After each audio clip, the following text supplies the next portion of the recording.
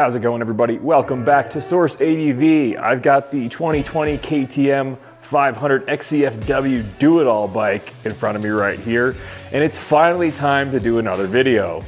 I think it's been almost 10 months since I've done a video for this bike, and I've been getting questions about, hey, when are you gonna race it again? When are you gonna adventure it to the, uh, to the race?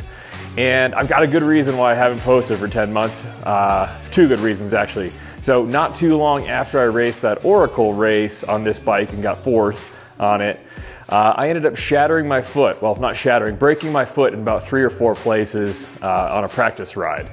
So that happened. I was down and out for almost three months. And while that was going on, I decided to make a new company called Race Provisions, which is a you know nutritional supplement company for dirt bikes and mountain bikes. I was finding that nobody really makes a good kind of pre-ride and uh, intra-ride supplement for dirt bikers and mountain bikers um, that's also kind of more on the natural side of the spectrum. So uh, yeah, my foot's healed. Uh, Race Provisions is running. We're selling product. So um, if you want to go check out raceprovisions.com, and there's also going to be a nice big discount code for exclusive to Source ADV viewers in the description below. So definitely check that out. But it is finally time to adventure this KTM 500 to a race, right? And then on top of that, race the race. Um, I'm trying to prove whether or not this bike truly is the do-it-all quintessential bike. You know, if you only had to have just one bike, not two bikes, not three bikes, but just literally one bike to do single track, uh, lightweight adventure, some racing, could the 500 XCFW or EXC be that perfect bike?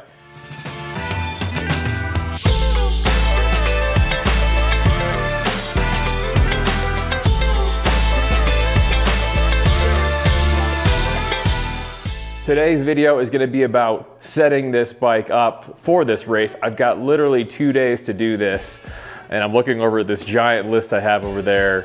We need to add some kind of rear rack here and I've got this Fastway rack that actually can come off. Uh, so we'll be able to pull it once we get to the race to save some weight.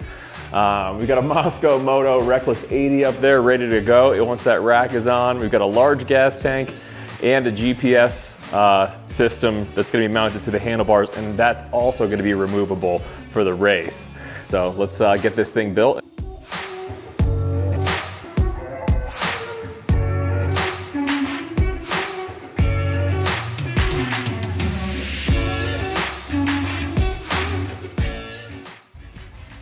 So this is definitely the cool part about this rack is that you can disconnect it uh, just the back piece, right? And take off the actual rack and just leave this bracket on. And the bracket that mounts to the muffler mounts right there. Yeah, I really don't like how big that hole is. I wish I had done that better, but what are you gonna do? Um, but yeah, so it's just that and this, and essentially it's down to adding roughly one pound, 10 ounces uh, to the bike that can't come off for race day.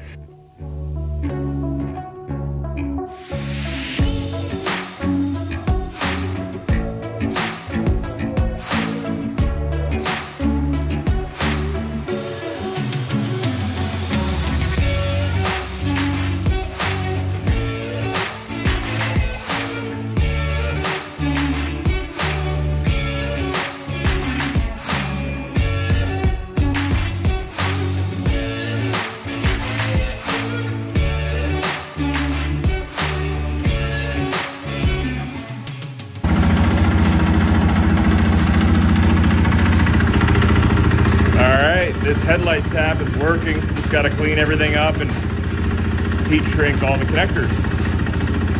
Pretty good. It's got a little fuse. So this little guy right here is a uh, 12 volt to 5 point to 5 volt output converter because this little guy's 5 volt, which is stupid. All right, so as you can see here, we basically have a lightweight adventure bike now. Uh, we got all the, the, the, necessary components. We know where we're going. We got enough fuel to get there. And we got some camping equipment once we're there. So this thing is ready for a lightweight adventure. Oh yeah, we've got a mirror so that I don't get sideswiped on the left side. I don't have one on the right side though, so I'll get hit there. But um, this thing's pretty much there. I've got a bunch of maintenance stuff like uh, oil change, air filters, new front and rear tires and mousses, new chain and sprockets that this thing needs, but you guys don't need to see any of that. Gonna be about a 250 mile ride up. That'll probably do over one day, maybe two. Um, and then the race is for the whole weekend. There's gonna be a hard enduro exhibition up there, which should be pretty cool. It's actually, the race takes place at uh, Page, which is where the Grindingstone uh, US Hard Enduro, the national hard enduro is. Um, so we'll be running a hair, hare scramble on that, two hour hare scramble. So I'm glad I got this big fuel tank. Yeah, we'll be running none of the pro lines, so you won't see our bikes flipping down the hill, which I'm happy about because this thing would definitely take a beating.